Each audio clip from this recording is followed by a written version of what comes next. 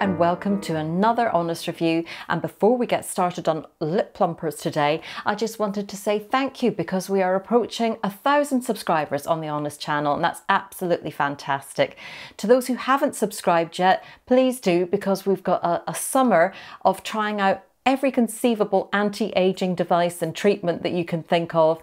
we are covering everything from lotions and creams to injectables, heat therapies and laser treatments as well. So lots for you to watch and find out about.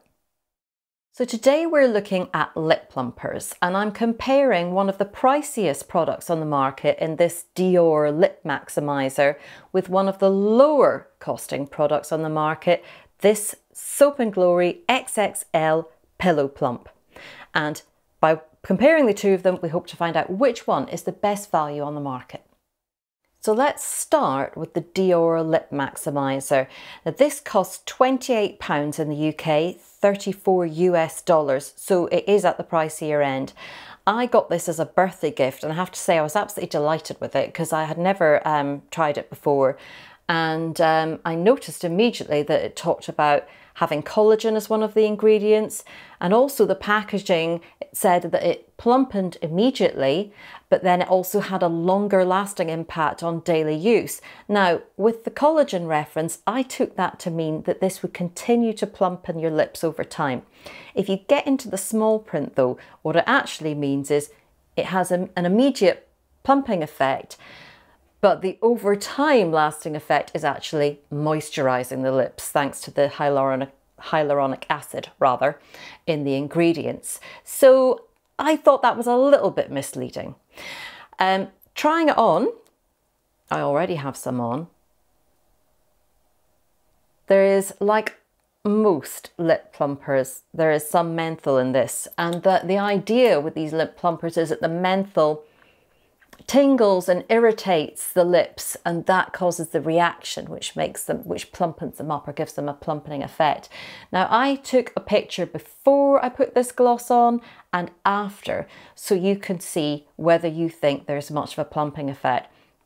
I have to say i didn't really see it. So for 28 pounds 34 dollars you have to ask yourself is it worth it?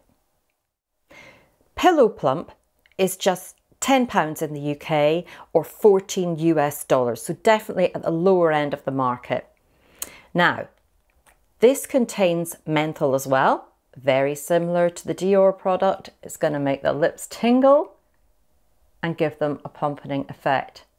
Now I have taken again a picture of me before I put this on and after so you can have a look close up at the effects.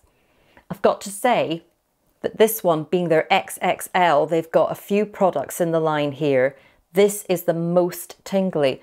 And your lips, hasn't kicked in yet, but your lips actually tingle so much after a couple of minutes that they feel like they're vibrating, they're like buzzing.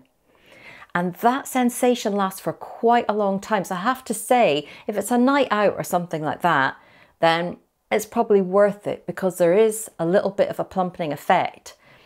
But to, for day wear, I don't think I could be bothered with that, wearing it at work every day and feeling like my lips were cold and mentally um, for a long time after wear. So that's something that you have to weigh up with the Dior.